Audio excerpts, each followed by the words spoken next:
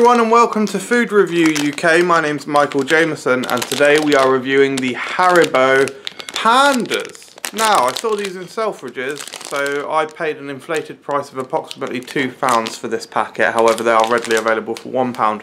However, the pack that I saw for a pound in Asda did not have this sticker telling us what flavour it is, which is vanilla and blueberry, and thus I probably wouldn't have given them a second look.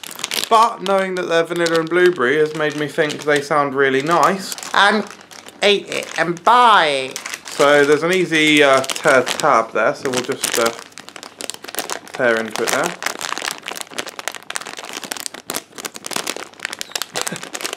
of course it's not very easy, is it? it's easy. The other side, why didn't they put... Oh, wow, that's so weird. Oh, such a weird smell.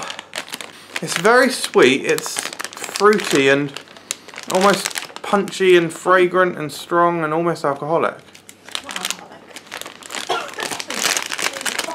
Right, that's what they look like. Quite a cute design, I will say. So, vanilla and blueberry flavour. Here we go. Hmm. They're quite chewy for a foam sweet. And actually their swirling goes into the middle. So the vanilla bit is quite a smooth, light vanilla flavour. And then this I guess is the blueberry bit. Hmm. It's a bit more punchy, a bit more sour, a bit sweeter.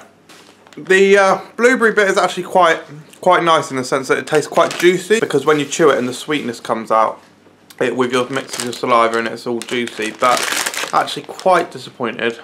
The texture's a bit too chewy for my liking. You look at that, it's just like gelatinous or whatever.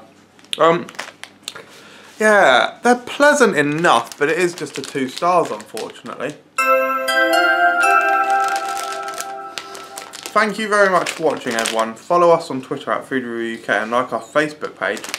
Let me know in the comments if you've tried Haribo Pandas, because we'd love to hear. And subscribe for more videos. See how bloody hard it is. I see how bloody hard it is all the time.